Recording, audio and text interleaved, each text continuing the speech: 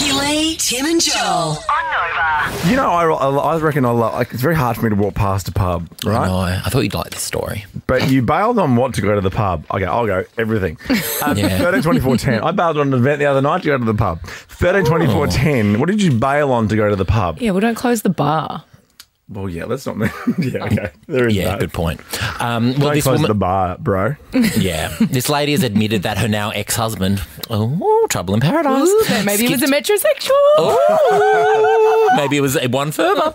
Um, skipped part of their wedding day to go to the pub with the boys. Yes. Oh, really? So the husband invited some mates to the wedding who lived quite a dis- distance away and decided he wanted to spend some quality time with his buddies. That's cute. So the groom decided to leave in the middle of his own wedding reception and head to the nearby pub for just a quick.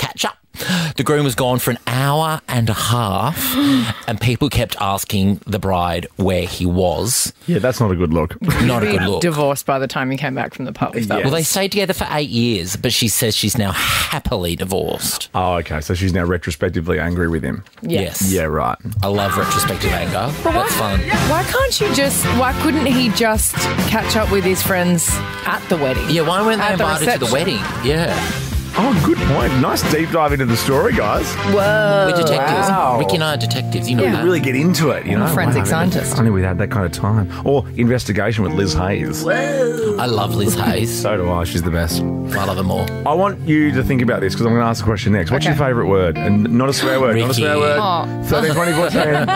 what is your favourite word? Next. Ricki-Lee, Tim and Joel. On Nova.